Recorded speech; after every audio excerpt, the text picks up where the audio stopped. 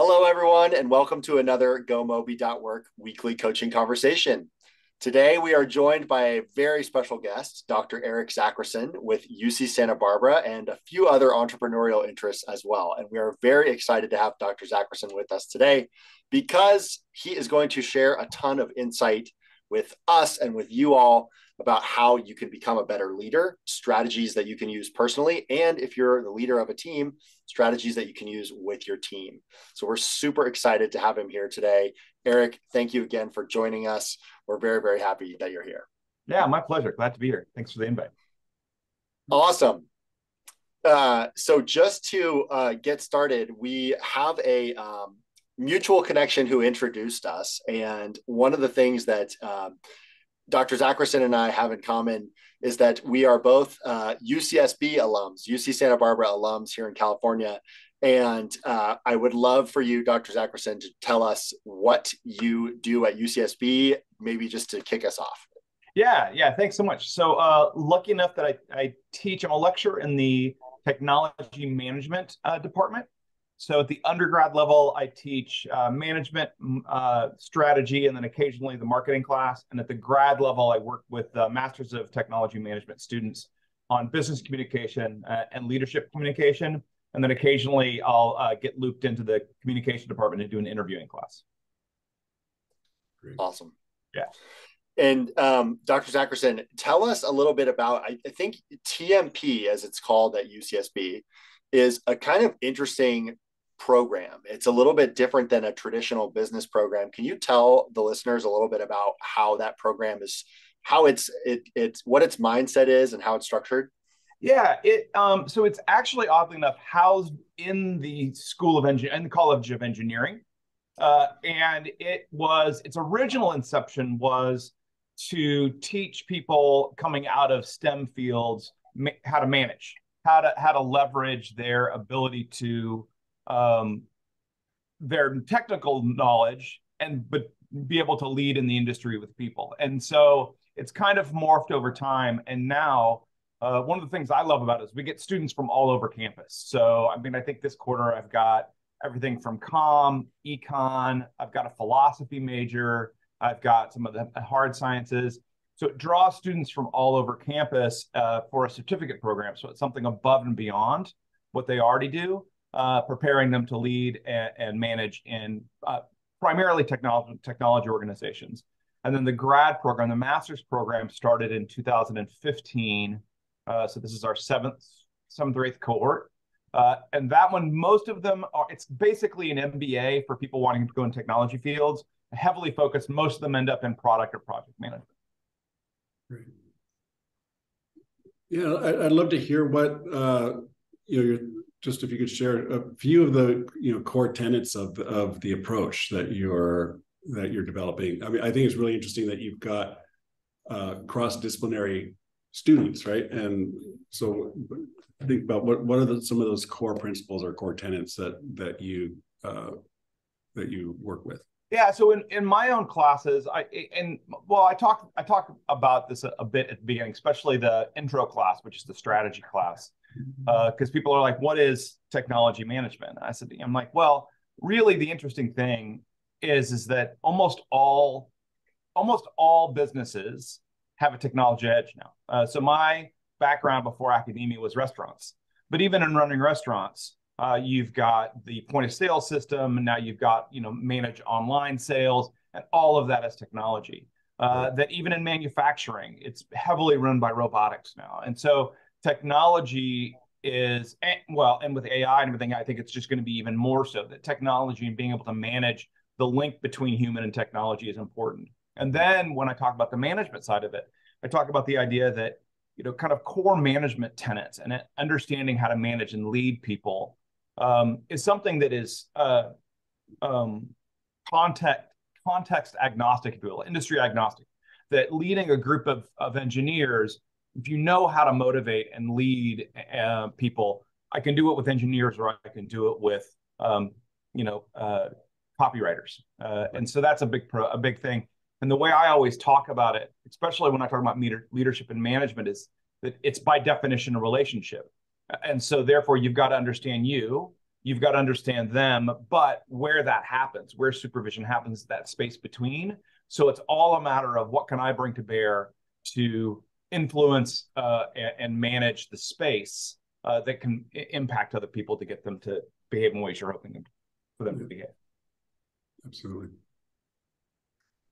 Oh my goodness, that I love what you just said there because we are all about managing the space. It's yeah. it's really something that I that we have found in in it is instrumental to doing this kind of thing successfully at, a, at an organization wide level because I think mm-hmm. some we what we see is some people are naturally good at it and that yeah. is very nice for them. And you know maybe the three of us would even count ourselves among that group but a lot of people don't experience that. And it's actually a skill that needs to be honed and learned.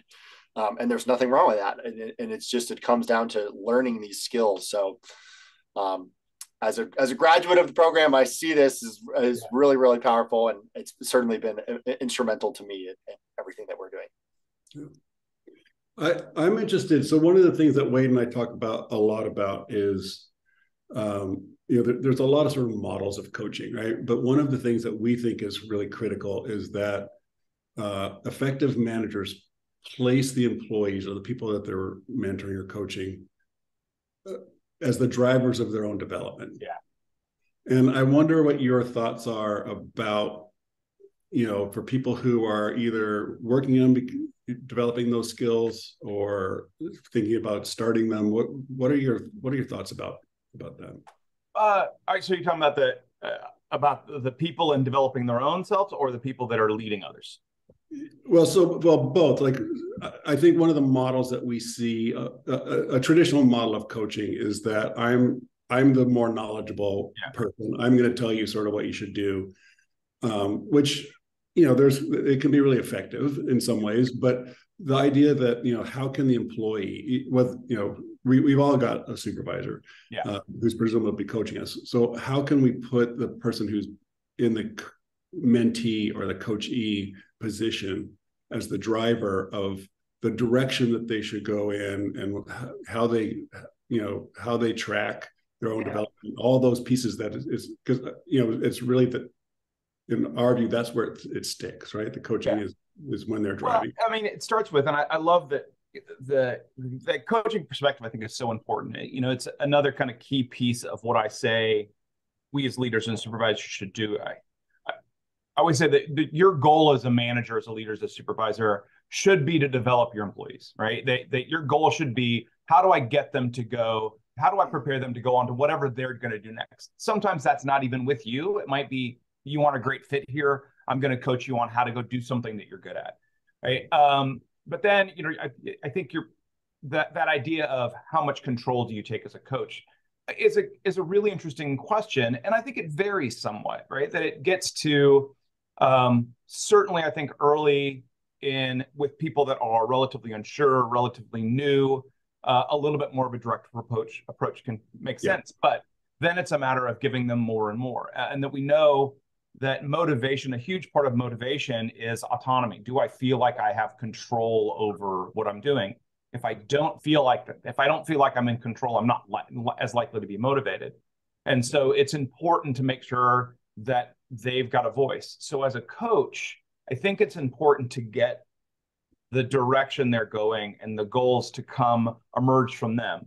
And you can do some guidance right? You can ask questions like, "Have you thought of this?" you know, but uh, it, it's it's so much. It's going to be so much. It's going to have so much more sticking power um, mm-hmm. if they feel like they've like if it's come from within them. Um, and uh, and sometimes it takes really difficult conversations, right? To you know, and it, to say, "All right, this is what you're saying you're wanting to do." I'm mm-hmm. not seeing that capacity in you right? Yeah. I'm not seeing that. Or um, you know, you say that, but every time you've done that, you've seen unhappy doing it. Are you sure? Like, and so having those conversations, I think, is the coach's job um, to really make sure that they are being honest with themselves. Yeah, that that idea of your, it's almost like a reality check in some ways around, yeah. you know, because we all have that. It's like here's here's my intention, here's my actions. What's the difference between those two, right? Yeah. I, what I would love to know, just as a as a as a little branch of this, is what you were talking about is so important. And the thing that I'm curious if you have any insight to any leaders that are listening, we have people that are joining wanting to know like how can I adopt some of these ideas for my team?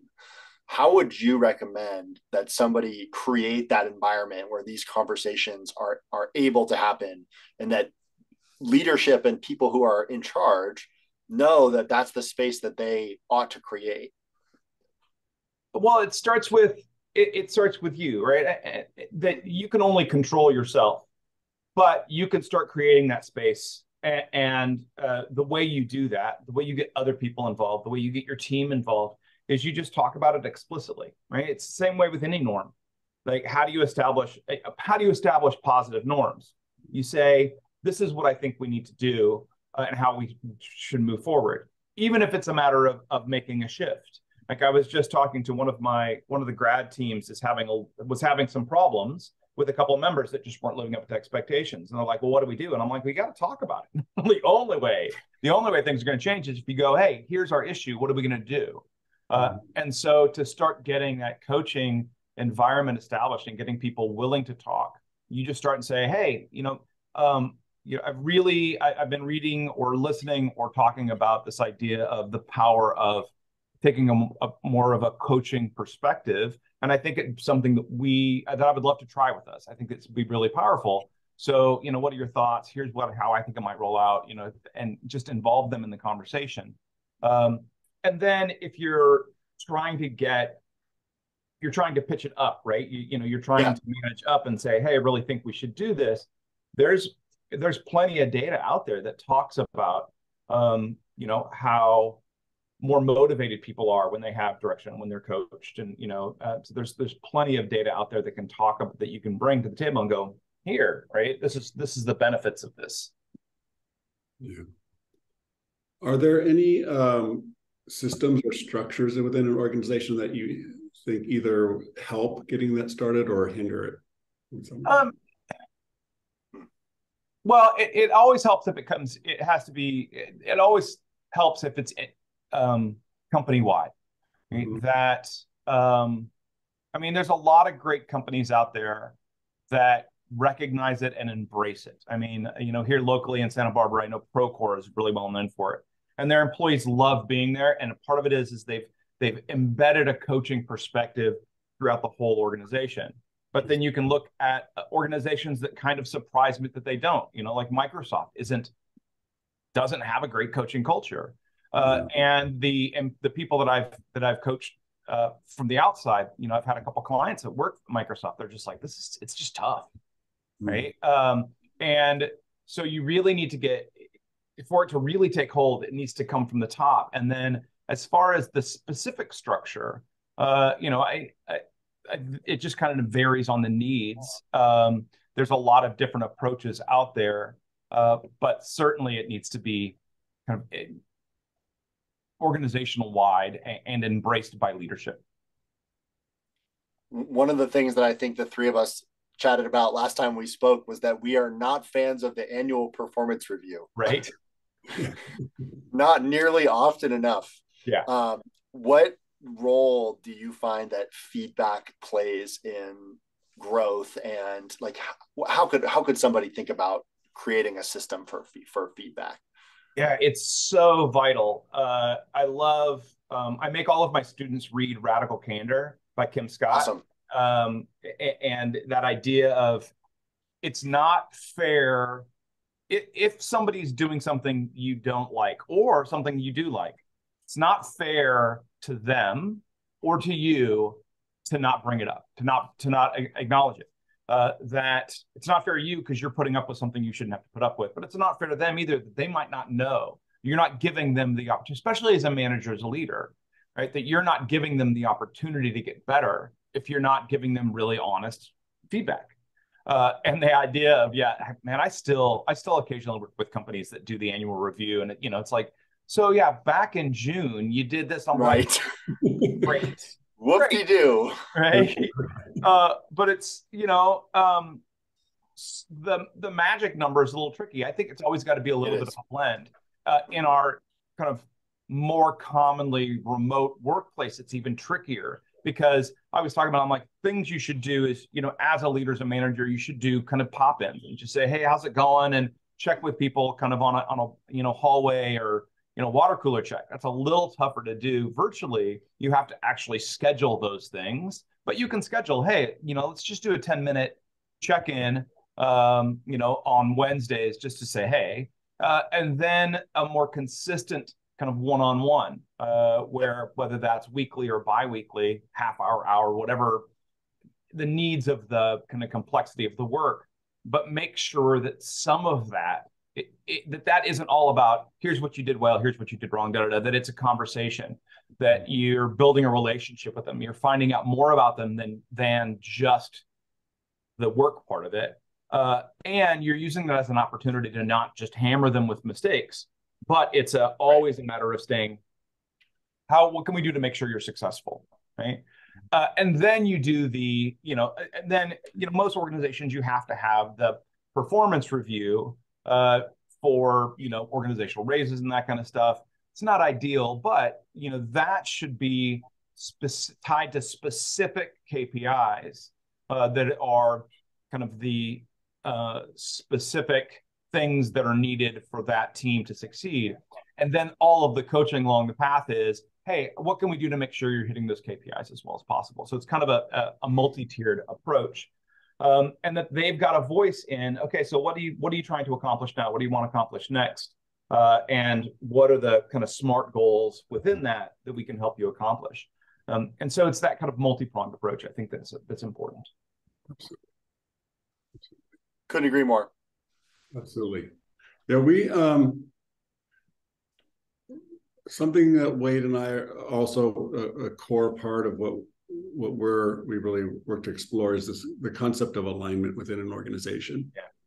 Um, you know, one of one of the things, you know, I've experienced myself, I think Wade's experience we probably all have is that, you know, when you get multiple perspectives when you're the when you're the sort of the bottom rung employee like executing the stuff you get multiple perspectives about what should be done or how it should be done um, i just you know to me you know i've always found that to be uh, difficult um, but i wonder you know just what you know you're, you're not yeah you you agreed immediately and we talked about this before but i'm interested in your thoughts about this concept of alignment within an organization yeah, it's funny. It, uh, so you asked, we have a framework, uh, and we actually do. We use the uh, congruence model uh, for uh, the framework of uh, kind of how we look at organizations for that for the TMP program.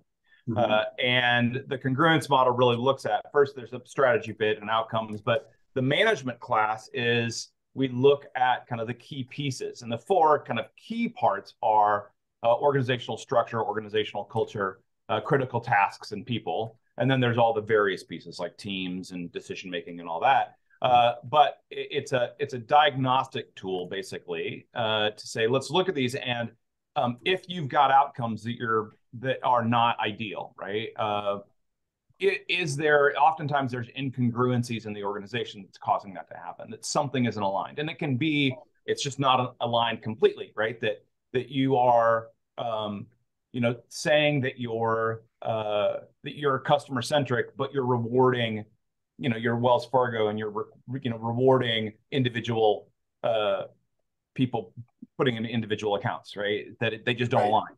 Fake so uh, that's part of it, right? And so if you're trying to do, if you're trying to get motivate people, which coaching really is a, a motivation tool to get them to go in a particular direction. If you're trying to get an organization to go in a particular direction and everybody within it to do it, all the pieces have to be aligned in the same direction. You've got to be rewarding people.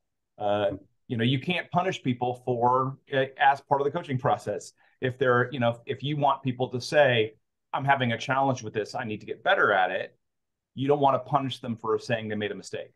Right. Right. Uh, um, and, and, so that, but that has to be all the way from the top to the bottom. And, yeah. So I, you're right. I think alignment is is vital.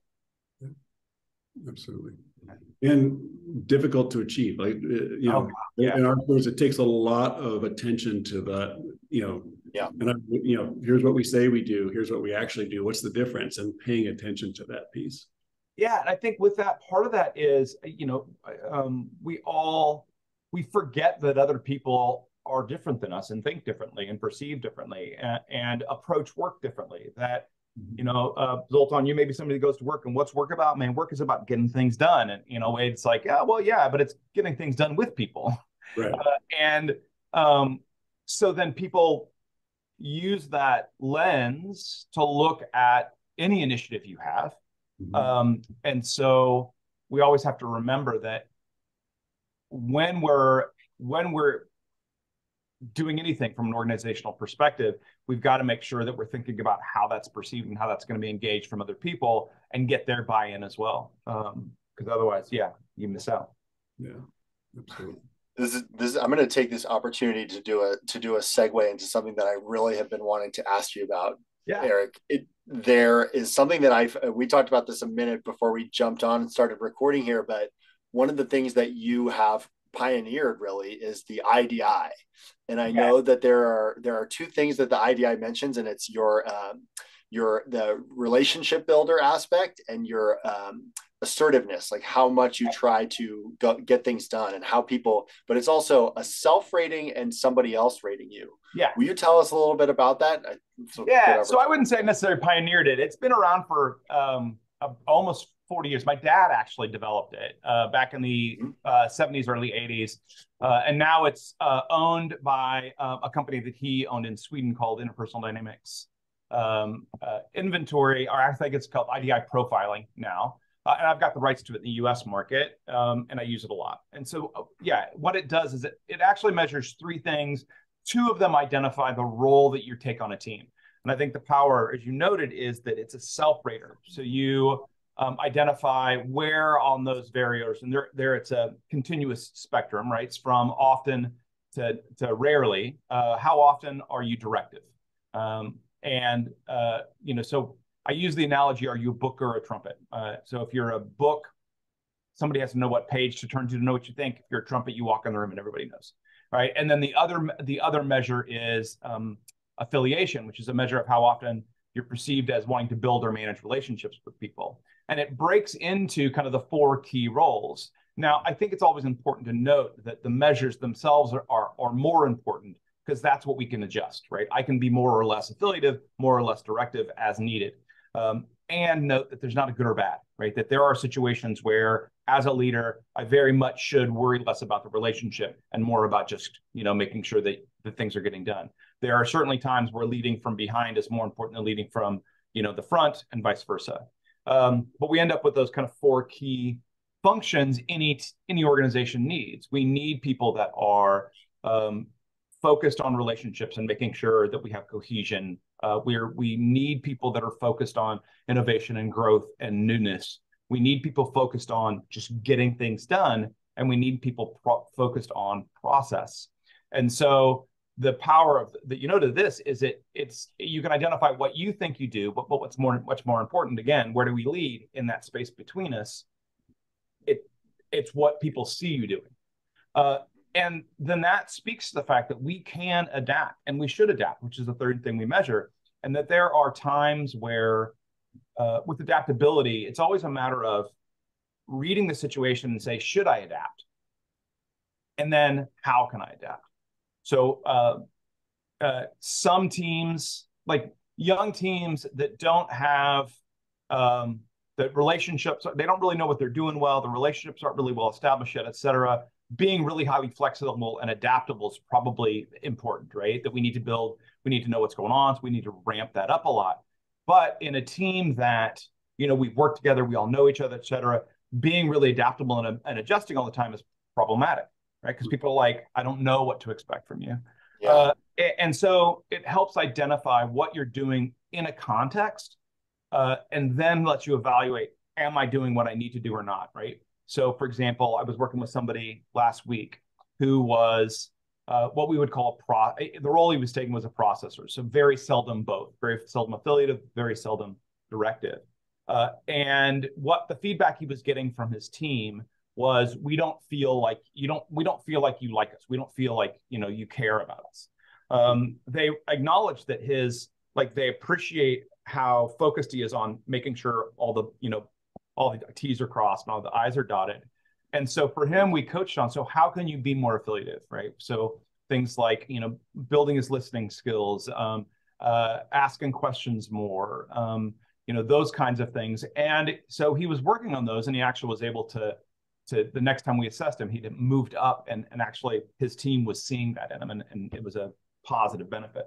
So it's a I think it's a anytime we and again this gets at coaching. I think we have to be really aware and when we're developing people and we're coaching people that we are basing that coaching on their interaction with others, right? Not what their personality in their head is, because is that useful? Sure, right? I think anytime we pay attention to that is important, but it's so much more important to think about the interaction because we're talking about what you're doing in the workplace, what you're doing with other people.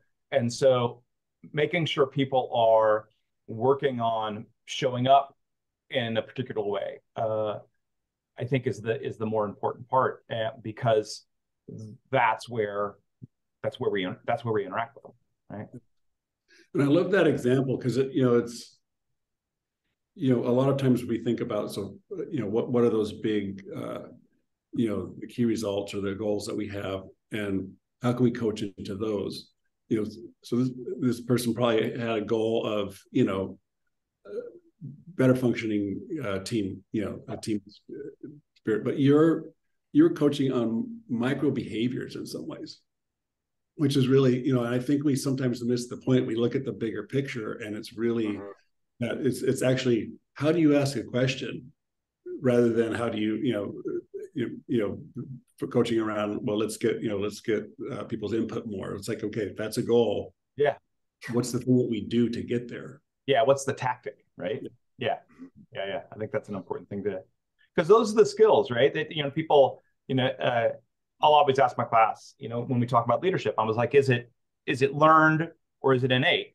And we generally always come to the the same conclusion that there are certainly people that naturally have it, right? But uh, I always have to. There, I've always got a couple students that like, no, there's certain people that just can't learn it. And I was like, everybody can learn it.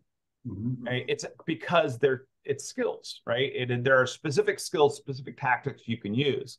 They might not be, you know, uh, they might. You, there's people that might not turn into like stellar charismatic leaders, but you don't have to be a charismatic leader, charismatic leader to be a good leader.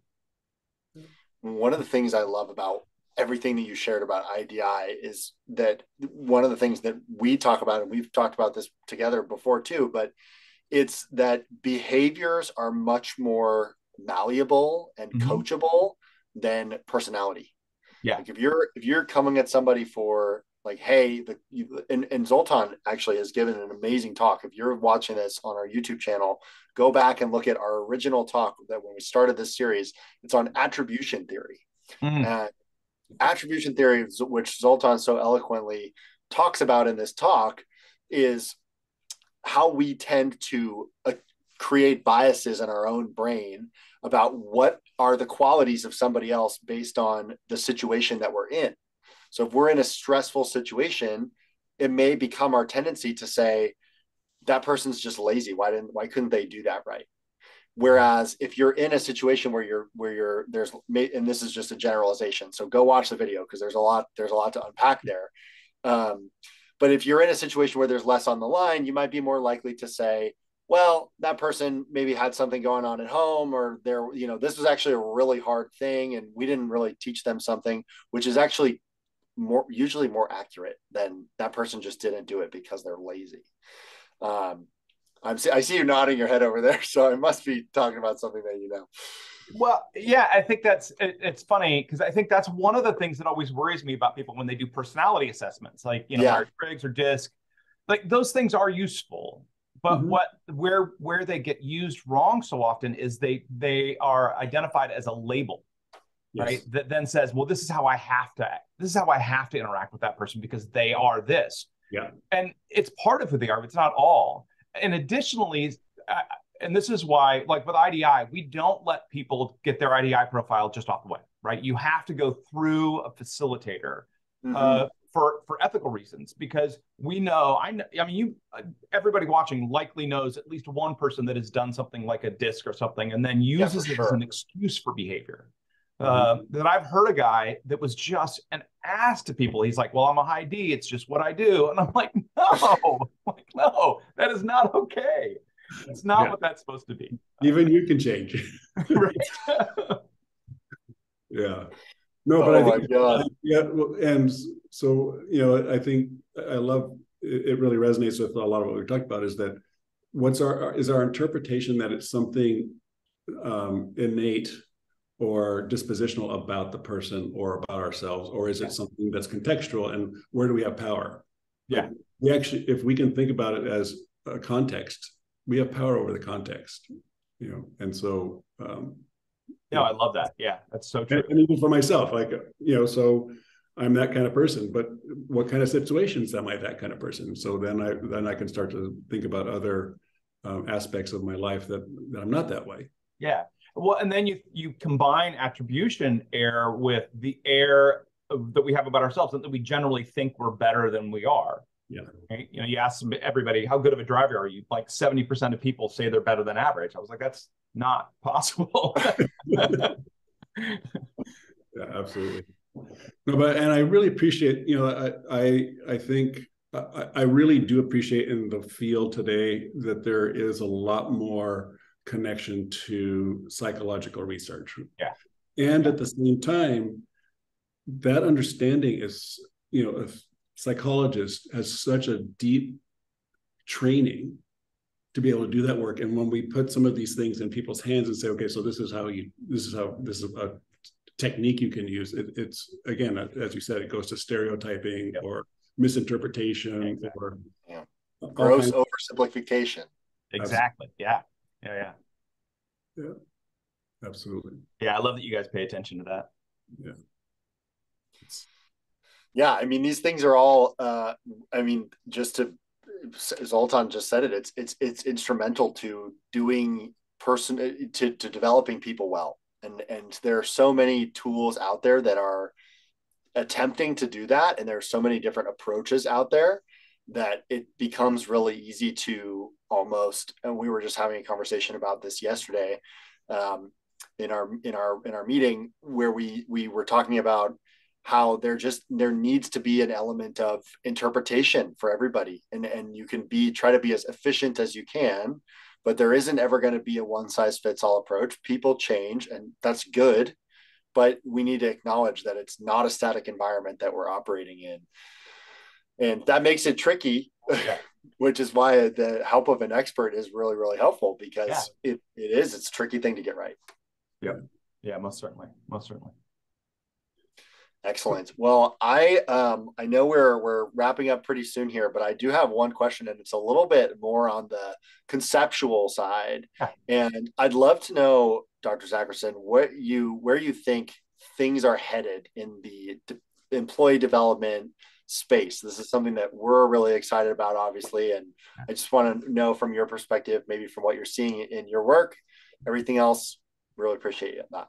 Yeah, I think it's heading in the right direction, right? That I think uh, more and more organizations are seeing the need for uh, professional and interactive development and, and developing their teams and coaching their teams. I think the perspective of coaching, uh, from a coaching perspective, is becoming more and more prevalent.